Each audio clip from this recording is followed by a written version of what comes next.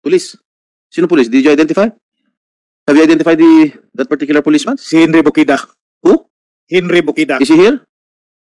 Is he here right now? Bukida, dali. Halika, Dali dito ka. dito ka. Upo ka. Ay, dito. Dito ka sa malapit sa tinutukan mo.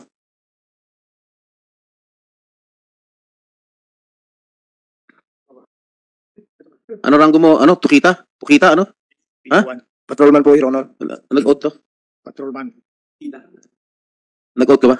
Kahapon, Your Honor. Nag-out ka na? Yes, Your Honor. Ha? Nag- Lapit mo yung microphone. I-forward mo yung microphone dyan. Sige, hilahin mo. Nag-out na po, Your Honor. Okay. Totoo ba na yung akusasyon sa'yo na tinutukan mo si Mayor? Your Honor, hindi po yung totoo, Your Honor. Nasagot ko po yan kahapon, Your Honor. Paano mo na-identify na siya ang tumutok sa'yo, Mayor? Kilala ko yan, Your Honor. Wala, wala sa bonnet. Walang bonnet, Your Honor. Nakadala siya ng M16. Kilala ko yung M16 na dala niya. Kilala mo yung Ay, M16? ang klase ng armas. Na-identify ko ang klase ng armas. M16. M16 yung dinala niya. Meron ka M16 at the time? Wala, Your Honor. Do you have any uh, pieces of evidence to prove? Yes, Your Honor. I have a scope. Uh, I have a witness. Uh, Mr. Barong, Your Honor. Uh, no, Carmelita Nugas and Momoy, Your Honor. Meron kayong picture? Pinag, ah, Your Honor, pwede magsagot. Wa- wala na kasi doon sa loob, hindi na sila nakapag-videos kasi mayroon ng komosyon na nangyari. Hinihila na nga. So, wala. ah. kaya nga, after nito, i-present din namin si, kasi nabigyan ng too detailed escort yung father ko, si ah, Barong at saka si Ukaya. Pero at that time, only Barong was present. So, he will testify also. Ma, ma- mabigyan, para mabigyan linaw yung ah, ano talagang nangyari. Kasi nandun si Barong, ang nandun sa loob, ah, na nangyari yung breaking the glass, my father, Moy Moy, uh, Carmelita, and Barong. Only four of them.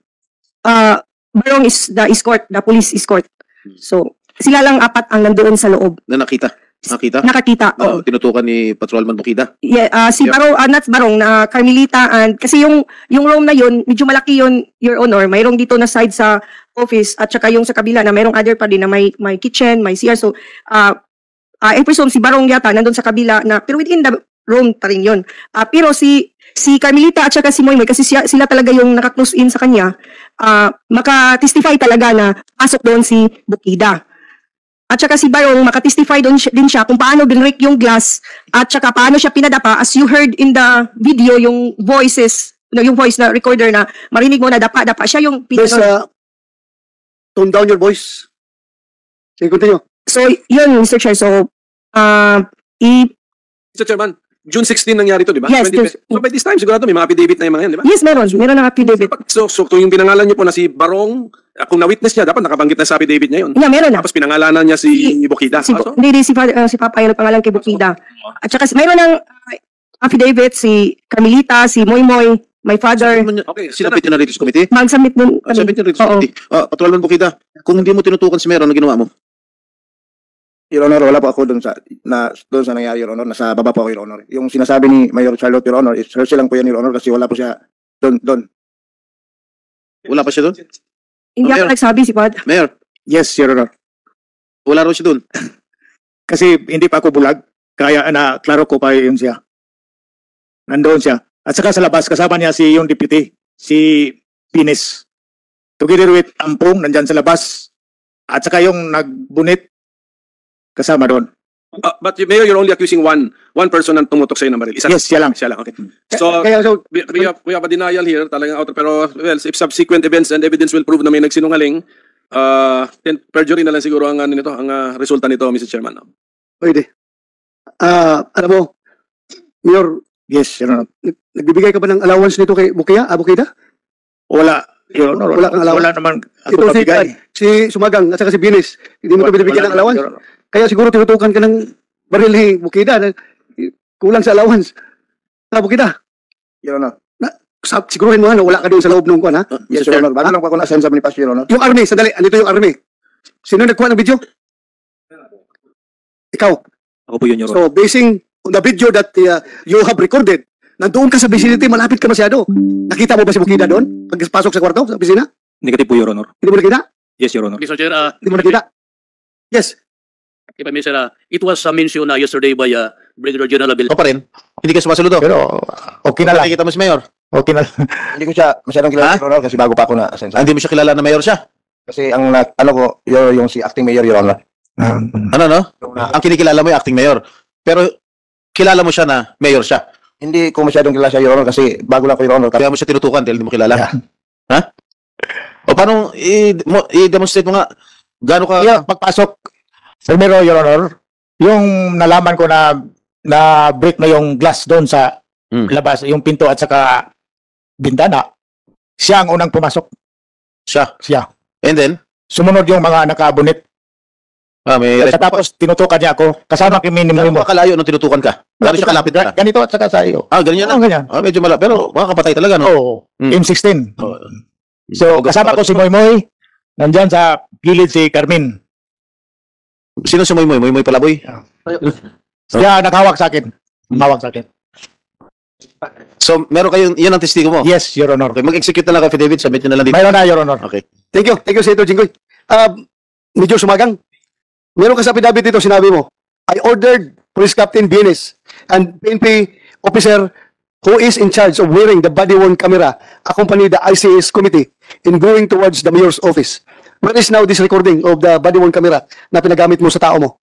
Ah, sir, uh, the body worn camera, sir, ah, is being kuha na, sir, borrowed by us from the Tanggol City Police Station, sir. Because wala po kaming issue na body worn camera, sir. Kaya nga, saan yung recording nito? Ah, nandun sa Tanggol, sir, ang kuha, sir. Yung download- downloaded videos yan, sir, is nandun sa Tanggol, sir. PD? Sir.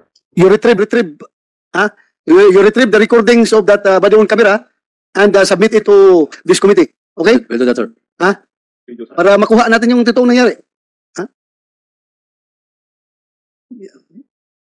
Sir, ah, with regards to, kan, sir, yung, kan, sir, the body worn camera, sir, is issued by the Tango Police Station, sir. Pero, sir, yung downloading of the videos during the incident, sir, is na-download na po namin, sir. And then we have submitted copies of that from our incident commander, sir. Submit yan ng kopya. Yes, sir. Ah, as part of our presentation. Kasama sir. sa present mo ngayon yan. Yes, yes, sir. Okay. So, thank you. Nandyan, i-present nila ngayon. I-present nila yung laman ng uh, video camera. Sino nagsuot ng camera na yun? Ba- Body-worn camera? Sir, ah, the body Sino, sino? Sir, ah, po- po- eh, Police Executive Master Sergeant Relio, sir. Brillo. Where is Brillo? Executive Master Sergeant Brillo. Ikaw yung nagsuot ng camera? Tapos, dinownload, saan, saan mo dinala yung kwan? Tapos, Download sa Tangkop City Sir Police Station as ordered by the our officer in charge. tapos, Tapos sir, kinikit na kayo sa ngayon sir sa cus- ah, custody ni nasa kanila na binigyan mo. So, i-confirm na yung i- ipapakita nila galing sa'yo yun. Yes sir. Recording na body camera mo Yes, sir. Okay. Mr. Chairman, sandali, about the body cameras, dapat police procedure yan eh. Yes sir. You- you Yes, have- yes. the police has retained the copy o hindi? Ah, narito sir. Ah? The PNP has retained the copy of have the video one. You have a copy? Yeah, the footage. Okay, so if we are given select selected or edited version, we can we can access the unedited version, the complete uh, video footages. Hawak ng police. Yes sir. Sure kayo ron? Kasi alam ko, uh, if I may, kasi Senator Pimentel, yung, uh, ba- yung uh, laman ng body worn camera, kapag ito na-upload na sa main server ng police station, uh, pwede gamitin yan ng ibang entity provided covered by court order. Am I correct? Yes, Your Honor. So in this case, may court order ba yung paglipat ninyo ng contents from the police station to the ICS? That's so, Your Honor. The, the, the reason for that is that to maintain the integrity of the contents of the recording, kaya kailangan talagang ma-preserve yan as evidence. Hindi yan basta-bastang mabigay sa ibang entity kung walang court order. Yes, Your Honor. So, in this case, pwede. Wala. Walang court order yan. But anyway, we are not casting doubts on the, the integrity of uh, uh, the recordings. Ang ko lang, procedural lang. Yes, sir. Ang binabanggit ko lang ito. It's Yes, a matter of procedure dapat. Di ba? Yes, sir. Although there was no there was no uh, court order, but since the the IC is created by the provincial government of Misamis Occidental, sir, is uh, as part of the ICS, Police Major Sumagang as the chief of police is the safety officer. So I think sir, it is incumbent to Major Sumagang in order to shed light on the on the different entities that is You being you stated it correctly. Correct. Yes, sir. Uh, that is why the You're part of the ICS. So Yes, being sir. a part of the ICS, there's no need for a court order for you to transfer yung laman na yun because that's part of your defense. yes, sir. Because you are a part of the ICS. Yes, sir. Di ba? So hindi kailangan ng court order. Yes, sir. You're correct. ICS is a provincial body. Na, not a PNP body. Tama? It's a creation of the provincial I know, government. I know. Kaya nga, may- uh, um, hinahinay tayo sa merger of uh, the PNP, PNP with the province. I mean, parang nangyari, nagkaka-merger na. Kaya, Hindi na PNP, pati army nga. Oh. Kaya nga, kaya- Army nga marami, kasama. marami nga katanungan. Pati Bureau of Fire. Di ba kasama kayo, Bureau of Fire? Mr. Chair, yes sir. Uh, for info lang to everybody, sir. Pulsuat to Republic Act 11121. Unified Command yan, sir. Yan po ang nagsettle. Alam na namin yan. Alam, alam namin yan. Kaya nandun kami lahat, sir, sa, Pero sa scene. hindi, hindi gagawa ng uh, order si Governor kung walang legal basis. Kaya isa kami lahat, sir. Isang command lang, sir. Kaya nandun kami. Covered kami by law po. Wala, akala ba tinatanong namin kung walang batas yan?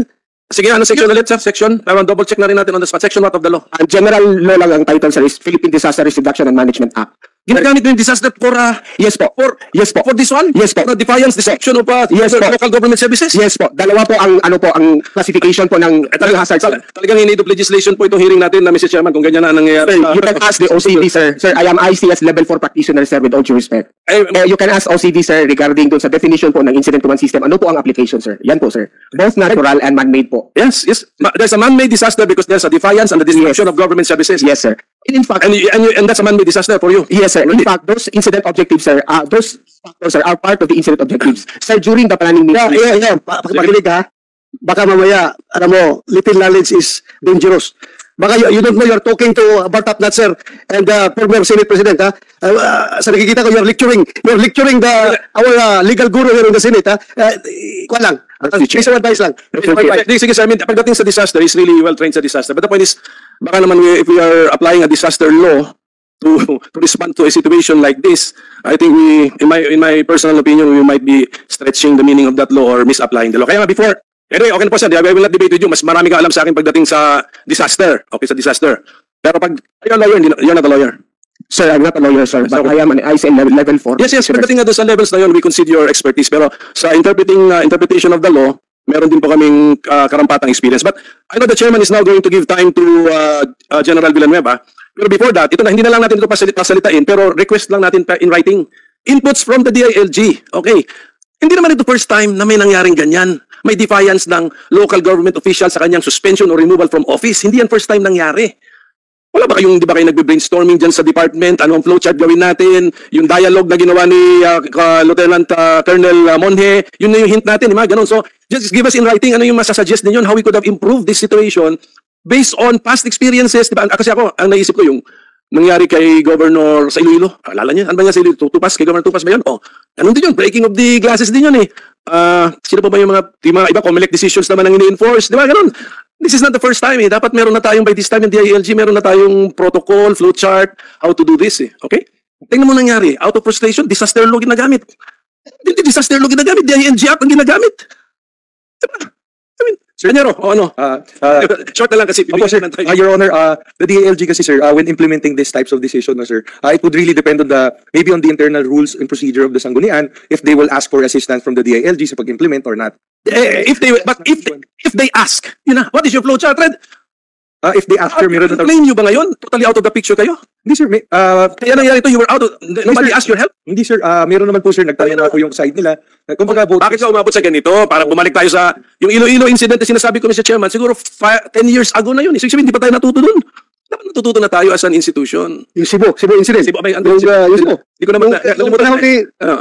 Governor Gwen, di ba? Oh, may mga- At si General Garbo. General Garbo ang uh, involved doon. So, dapat uh, may template na tayo dito para hindi magkagulo-gulo yung implementation. Okay. Sige. So para lang hindi na po matagalan kasi I think nainip na talaga rin si General Villanueva to, uh, for their Yeah. side to be heard. Sige. Basta in writing na lang sir para hindi hindi Yes, sir. talaga masayang yung hearing natin. Apo. Yes, uh, Attorney Mulyusos, your, Uh, may, Mr. Chairman, I will ask questions, but Yeah. I will throw it to you and Yeah. kindly. I will address to the ICS expert level for these two questions. Yeah, okay. okay. Number one is that Okay. the ICS of Misamis Occidental, how many times it was activated by that province? You can respond. Uh, I say expert, expert. Go ahead. Good morning, by the way, once again to everybody. Mr. Chair, um, as far as I know, during the drafting of the executive order, there was a basis, original basis of that executive order for the creation or activation of the incident command system. In fact, during the time of the former governor. Am I correct, sir? It was established. My question is, my question is, how many times in Misamis Occidental the ICS was activated? This is the first time. You actually, can first time- understand how many times? First time? Your Honor, Your Honor, this is the first time for, Bigyan ko natin. this is, a, Your Honor, this is the first time for a standoff incident. Okay, so you In may, the context of the incident command system, this is the first time in the entire country that we call it in the incident command system as a standoff incident. okay. Then, other than that June 16 incident, before that, there was no ICS activation. Before what, sir? Before the June 16, 2023 incident, there was no activation of the ICS. Your respond, as far as I know, sir, the basis for the activation of the incident command system was the executive order of the governor. Pursuant to the letter request of the acting mayor nga, crisis. you just, ans- you just answer the question. Primerong, bi- isang, first time ba ito? Nangyari?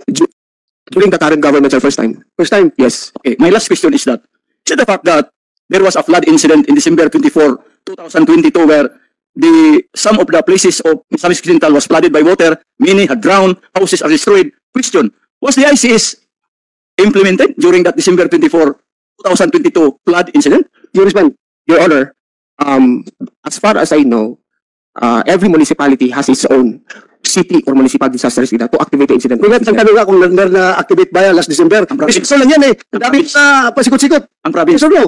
Na-activate ba during December flooding? Yes or no? Sir, uh, with, with, with, with all honesty, sir, this would serve as a lesson to everybody. Hindi po. So, yes or no lang ang sagutan. Was that activated? Yes or no? Hindi po. Or thank you for that answer from the expert. Thank you. Okay, Sir, thank you, sir. that answer was uh, na, no. Okay, th- thank you. Lahat po ng Newsflash video ay makikita sa aking Newsflash playlist. Sa mga gusto naman po ng mga biblical topics, punta po kayo sa aking channel na Mahafree TV. Para sa mga gustong mag-order ng Fermax Firmang and Lifting Cream and Immune System Booster, contact Mr. Dante Meraviles on Facebook. Cell phone number 090865537757.